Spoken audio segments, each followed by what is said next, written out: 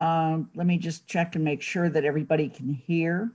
That is here from the council. Uh, Dorothy Pam.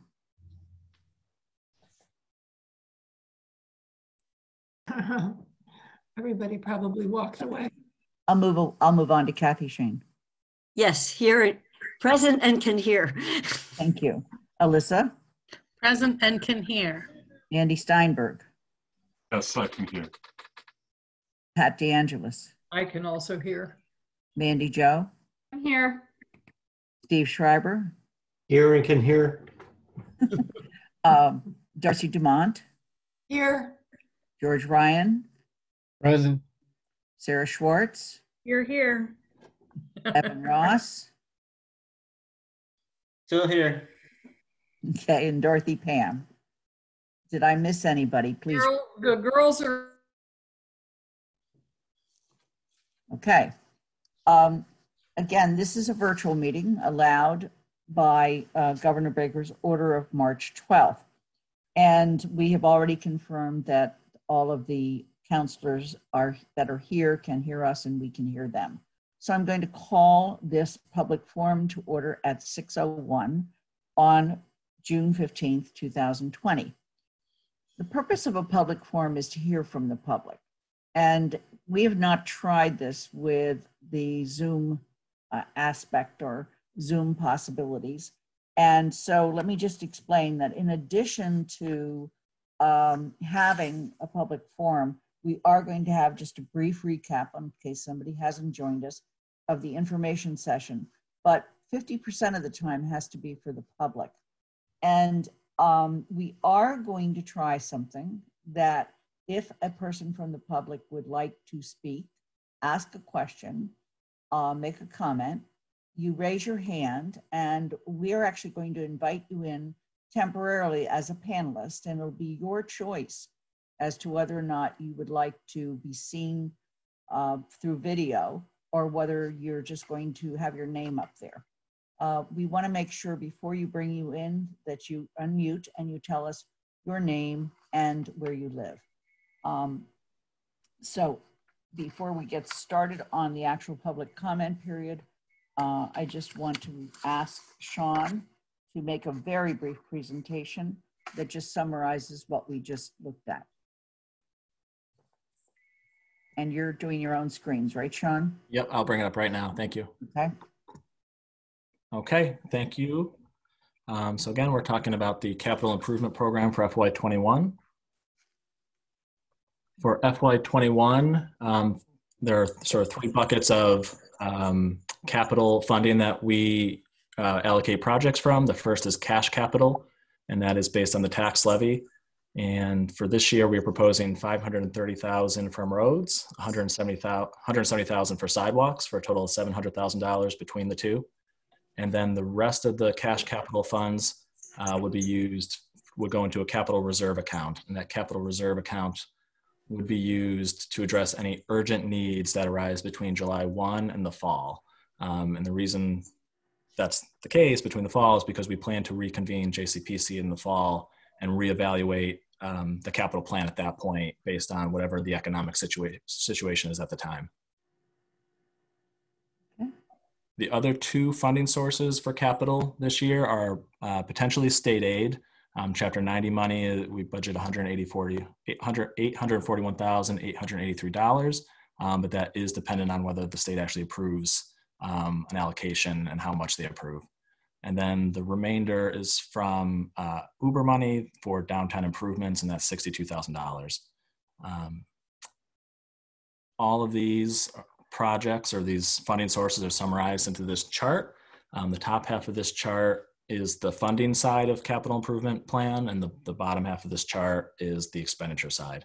Um, so for FY21, the total that we're proposing or total funds available is 3,687,934, which is comprised of the cash capital, the other, and the state aid.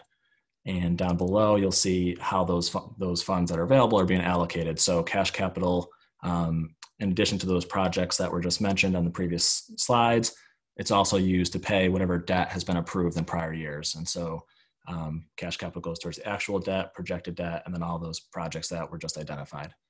Um, and then below that, we use the uh, other is the Uber money, which is going for downtown improvements. And then below that is the state aid, um, the Chapter 90 funds that are going for roads and sidewalks.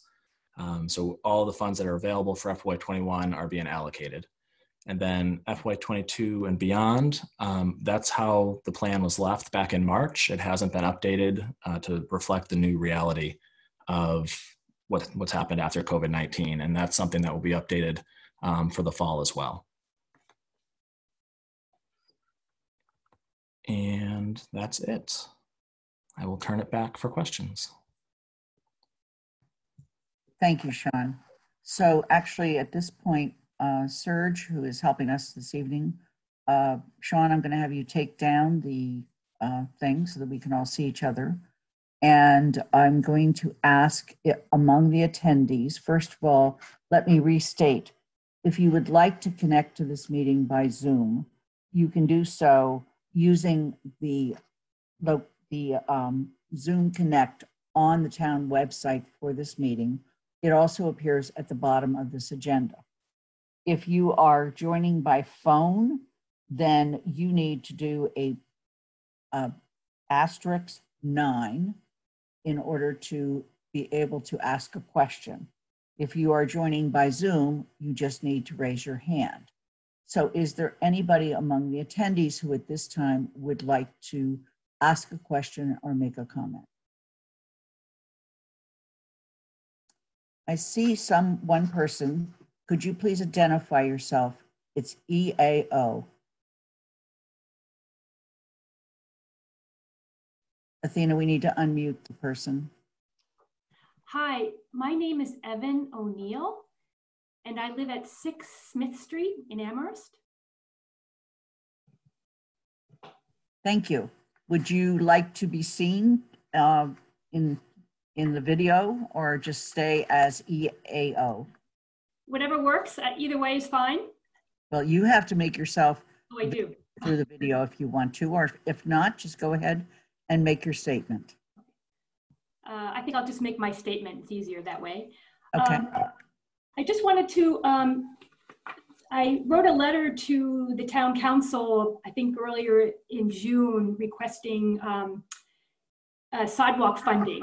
Um, And I just wanted to, um, to say I attended the, um, the special town council meeting about a half an hour ago. And I was just happy to hear that there's really sounds to be, sounds like there's an emphasis on sidewalk funding.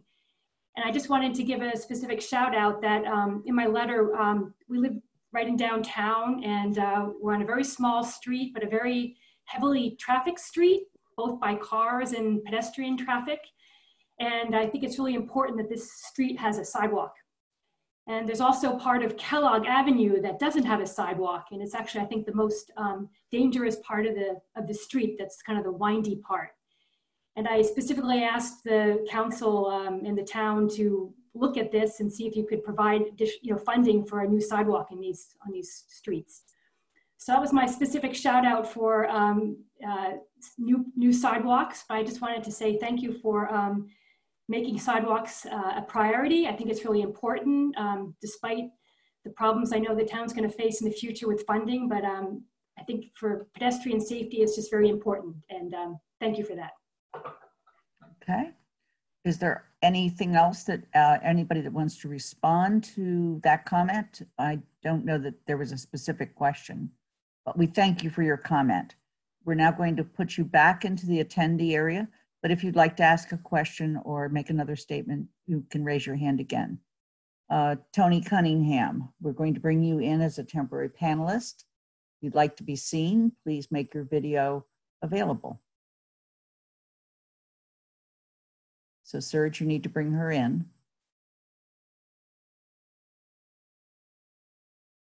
Okay. I Hope we haven't lost her. Yep, I, I added her as a panelist, so she should be joining us. It does it take a little while? Uh, it could take a few seconds. Okay. We're trying something new because several people have expressed interest in seeing our speakers and seeing who is attending. Um, We're not seeing Tony. There she is. Tony, if you'd like to unmute and also uh, be seen, you can also show your video or just make your statement. I'm sorry, uh, this is Tony Cunningham. I got cut off there. Is it my turn? Yes, it is. Oh, great, thank you. We're now showing as a panelist on a temporary basis. And if you'd like to show your video, you may and be live with us, or you can just leave it the way it is. Okay, there you are, Tony. Okay, thank you. Uh, I just wanted to um, thank the Finance Committee and the JCPC that have been pushing lately for the uh, reports of unspent capital. Um, I think that's a vital piece of information when you try to determine how to allocate limited resources. And so I just wanted to thank uh, the members of JCPC and Finance Committee for asking for that information and Sonia and Sean for providing it and um, Doug Slaughter also. And I'm glad to see that will be part of the process going forward. Any other comments at this time, Tony? That's it for now. Thank you. Well, thank you. We're going to have you go back in as an attendee. We hope we don't lose you in the process. And you may come back at some other time. Are there other comments or questions from our statements from the attendees? We have plenty of time. Yes. Ludmil Pavlova Gilham, and you can tell me I pronounced it incorrectly later. Um, please come into the uh, comment area and you can both unmute and also um, make sure we can see you. There is a bit of a time lag.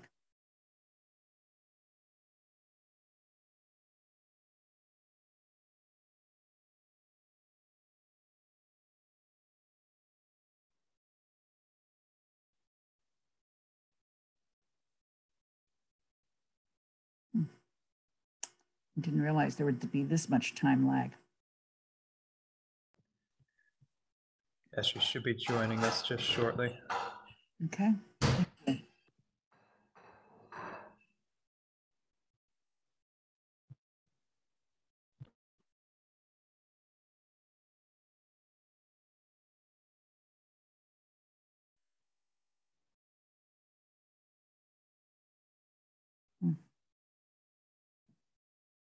Can you track the progress of that Serge? Um, let me take a look and see uh, what I can tell on my end here.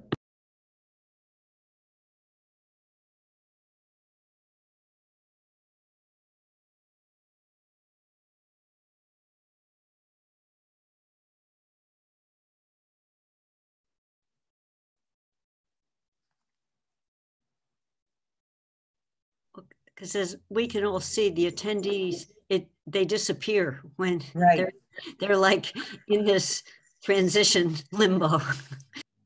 So yeah, so what happens is the person essentially the system uh, exits the person out as an attendee, and then they are rejoined as a panelist. Um, we, in our experience, um, it worked pretty quickly, but it seems like there's a delay um, when there's a lot of attendees or in this situation. Okay. We'll keep waiting for her and make sure that when she comes into the panelist area that we let her know it's her turn. Meantime, will there be other people who would like to make public comment?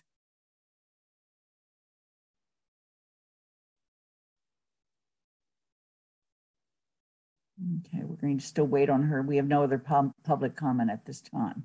Okay, I was just texted by Tony that when we transferred her, she was cut off and then she had to re-log in with the Zoom number again to get back into the meeting. Oh, boy. Okay. Thank you, uh, Tony, for letting us know how that happened. So Ludmila, if you can hear us, please log back in.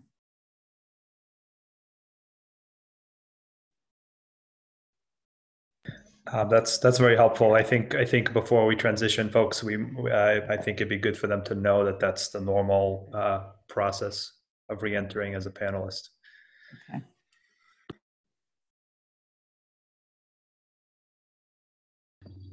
We have, we're going to continue the meeting anyway, so hopefully Ludmila will um, hear us. If anybody knows how to contact her, please go ahead.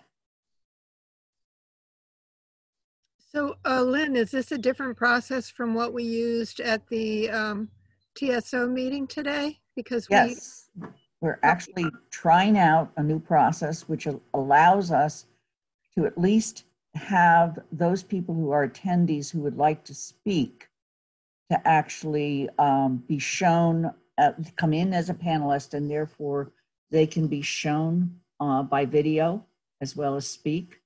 Uh, This is because several of you have asked uh, that we try to come up with a way to be more, if you will, a neighborhood, if you will, or a meeting. And uh, so Mila has come back into the room. oh, here we go. We'd like to see if we can successfully transfer her Serge. I There we are. I apologize. Um, I don't know whether I did something or whether you No. did. It doesn't really matter. Um, I wanted to ask what is our borrowing capacity and how far are we along the process? I'm sorry if it's out of sync with some of the other things you may have been discussing. No, I think under capital, that's a perfectly decent question. Uh, Sean or Paul? Um, I don't know the exact number offhand. We can get you that number. It's pretty high. I think last time I looked at it, it was in the hundred million dollar range. Um, but we- we'll have to come back with the exact number. It's a certain percentage of the, I think, of the taxable property in town. Um, Sonia, you may have more of a detail on that if you'd like. It's, a- it's about, last I, I looked, it was about 113 million. Okay, and I guess my question is actually in concert with some of the other capital projects that we are looking at in terms of planning. Um, I have not, I'm not very astute in terms of being able to look up meeting information and um, follow the conversation in town really. So um, I'm sorry if I'm asking these questions out of place almost, but I, I was thinking that we do have a number of projects that are in planning stages. And I was wondering if you had thought about uh, how we might uh, orchestrate um, being able to actually borrow in order to complete them. The ones that I'm particularly interested is the Jones Library and the elementary school. And how we might be able to permit ourselves to actually engage in those projects whole, all the way through. So Ludmilla, let me start and then I'm going to ask Paul and Sonia and Sean or other councilors to chime in. Um, we did begin a very serious process of listening back in December for all four of the major capital projects, which are in fact the library, uh, the, an, an elementary school, a li- um, fire station, and EMS station combined, and also the Department of Public Works. Uh, we were proceeding along those lines, and then, as with so many other things, COVID is interrupted. However, um, back in December, we were accepted by the Mass School of Business um, Authority in school school building authority, excuse me, into their process for planning for a new elementary school. And that process is beginning as we speak and uh, will take about a year to, and a half to two years to come up with the uh, curriculum plan as well as begin to get started on the building plans. And then in the process, um, if those are all acceptable to the um, MSBA, then they will proceed with giving us some amount of money that will match what we will put in locally. Uh, That is subject to the approval of the town council. And should we choose, I said should, I didn't say we will. Should we choose to go out on our override, we would. Uh, So that one is grant dependent. Um, The second one uh, that you mentioned is the Jones Library, which is also grant dependent. And frankly, we don't know where things are with that one at this point. And the reason we don't know where things are with that one is because we don't know whether or not the library commission, with state level library commission, will have the money to give any capital grants this year for capital improvement. And if they do, whether they will extend the timeline for that one. Um, and again, unlike the fire station DPW, those two are grant dependent, but the fire station and the DPW are not. The fire station is, the best location is still considered to be where DPW is, but we have still not found a suitable location to move DPW to. And so those two projects are further down on the list. And um, the issue is not just borrowing capacity, but making sure that we're in sync with what the, po- the residents of Amherst are thinking about, as well as our ability to pay back all of the loans. So with that, um, therefore, the council, by the way, has not really returned to this discussion. Uh, I do want to ask others if they'd like to add to this conversation at this time. Cathy, you have your hand up. Yeah, I just wanted to um, add to what Lynn just said, Ludmilla, that the debt capacity is one number. The other one we're looking at, or we will have to look at, are some numbers Sean put up on how much money can we allocate each year to capital to pay back loans. Um, so we have some past debt, and going forward, if we have enough of an economic recovery to go back anywhere near to 10% of our general property, and we'll have more for capital in general, and that means more. So the timing of these matters for not just borrowing the money, but then being able to pay the annual amount back each year. So it's it's all intermingled with what he said about fiscal year 22 through 25 and those are the years that particularly apply to the school and the library in terms of their grant cycles so we're going to have to be looking at both of those not just the ability to borrow it but the ability to pay it back um, right. okay paul or sean or sonia any additional I, comment no i think you nailed it lynn and kathy i appreciate you mentioning that i think it, you know, it's, it's something that we've clearly been focused on. Uh, one of the challenges has been the financing of all four projects, both on the ability for us to take on the debt, but also for the taxpayers to take on the payments that re are required uh, to do all four projects. Um, and you know, the, the metrics we're dealing with is the length of time that we do them. We are driven by the grant cycle, and so we are any the two programs, the library and schools, have the ability to obtain grants. The other two pro, uh, projects aren't do not have that capacity to get grants. I want to make sure that we give people who are in the audience an, an opportunity to ask questions or make statements before I go back to our councilors. Are there other people who would like to make a comment?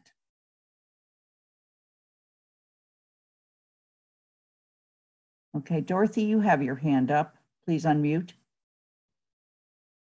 Yes, um, I would like to ask um, something that so many people have asked me. Um, let's assume that we do that the MS, that the school grant is going forward.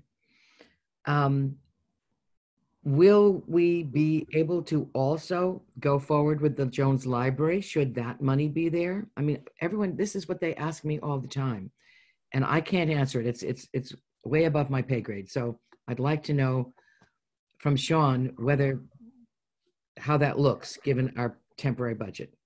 Uh, you know, Dorothy, I'd love to get out my crystal ball. say, this is a council decision.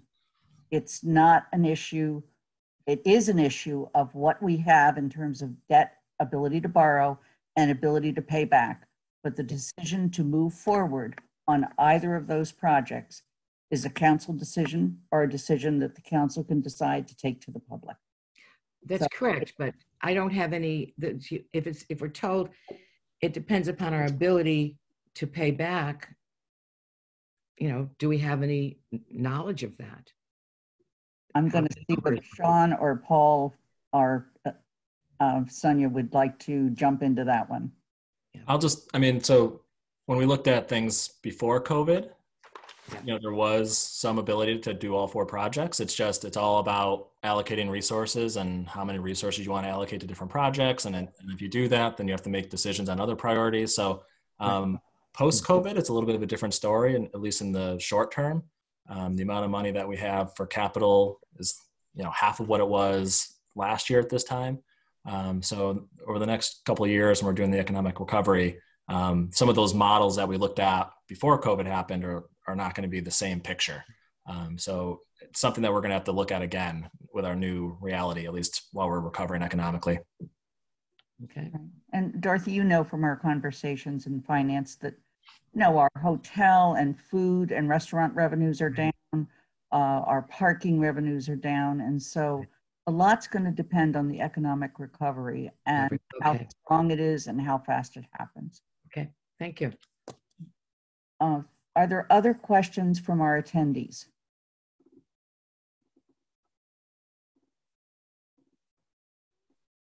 First of all, we're glad to see so many of you, but, uh, and we appreciate the questions and comments that people have made. Uh, We certainly would like to hear from more of you, and uh, we are going to end this at 6:30 unless there's more comments and go on to our regular council meeting. But I do want to urge you that at any time, should you care to um, share with us various comments, um, write us at towncouncil@amherstma.gov. Okay? Any other comments from the audience? And I also want to thank those people who joined us tonight for their patience in being brought in as panelists so we could be seen and so you could be seen and we could hear from you um, directly. Okay, so given that, I'm going to adjourn this portion of our meeting. We